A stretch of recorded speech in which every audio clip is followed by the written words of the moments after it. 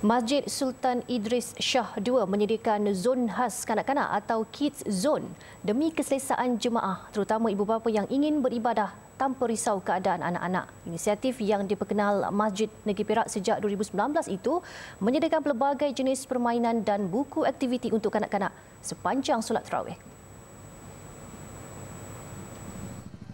Pegawai Unit Imarah Masjid Nurul Huwaida alias berkata, inisiatif menyediakan zon kanak-kanak itu tercetus selepas mendapati ramai dalam kalangan jemaah hadir bersama anak-anak kecil tujuh tahun ke bawah semasa solat terawih. Namun katanya ada ibu bapa terpaksa pula awal kerana anak-anak meragam dan menangis yang boleh mengganggu jemaah lain. Waktu beroperasi kita buka dari lepas maghrib sehingga habis selesai solat witir 20 rakaat.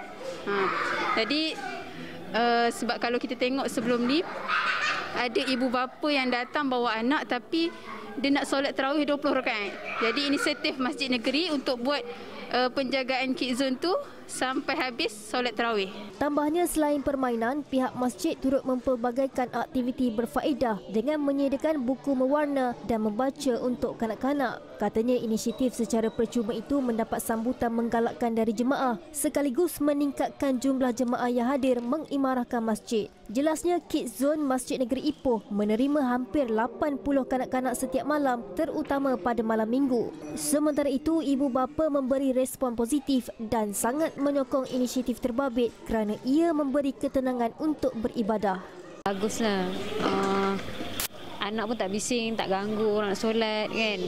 Tadi tak ada siapa-siapa marah pun kan. Eloklah buat sini. Budak pun suka main. Hmm, tak bosan. Dah berapa malam datang sini? Kan? Dah berapa malam datang sini? Dah dua, dua kali. Dah dua kali. Hmm. Macam tahu pasal program ni? Tak tahu. Sampai sini baru tahu. Yang first lah. Ha, lepas tu saya ajak kakak, dia bawa adik dia. Ha, anak dia pun, dia semua solat kat bawah, anak dia boleh main kat sini. Sangat bagus lah.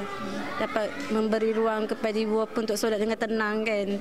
Ha, anak-anak kat sini terjaga, ada kawan-kawan. Hmm. Jadi macam dia tahu pasal, pasal? Sebab ada kawan share dalam WhatsApp group